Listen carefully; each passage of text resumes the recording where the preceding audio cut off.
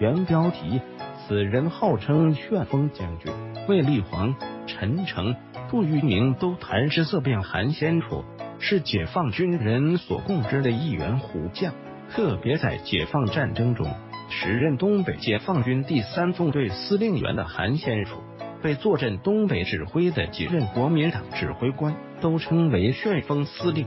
国民党东北保安司令杜聿明惨败后，在离任交接仪式上，对后任说了一句：“最难对付的就是韩先楚的旋风部队。”国民党总参谋长陈诚出任东北行营主任后，信心满满。陈诚在国民党内部属于泰斗级人物，一人之下，万人之上，搞得定蒋介石，更搞得定各方诸侯。上任后调兵遣将。声称六个月消灭共军，结果被韩先楚和兄弟部队打得屁滚尿流。陈诚只得称病离职。日记上对韩先楚的部队爱恨交加，说了一句中肯的评价：韩先楚是很难对付的旋风司令，不知道什么时候他的部队会出现。卫立煌绝对是抗日英雄，也是日军闻风丧胆的国民党。名将接任陈诚职务后，命运如出一辙。评论与他的两位前任惊人一致。韩先楚是个虎将，动作之快，如同旋风般。一九五七年，韩先楚任福州军区司令员。福州与台湾隔海相望，自然经常受台湾小股国民党侵扰。当然，这些摆不到桌面的骚扰，根本不在韩先楚话下。倒是真台风危害性强，韩先楚总是预案在先，从军级到连队都有自己的应急预案，部队的抢险救灾受到了老百姓的赞誉。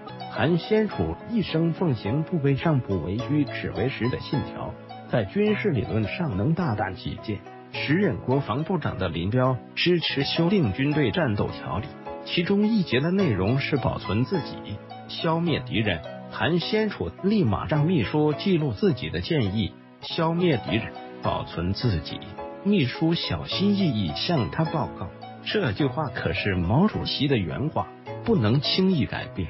韩先楚说：“积极消灭敌人，才能保存自己。你写上，有问题我负责。”一九七三年，毛主席一声令下，八大军区司令员对调。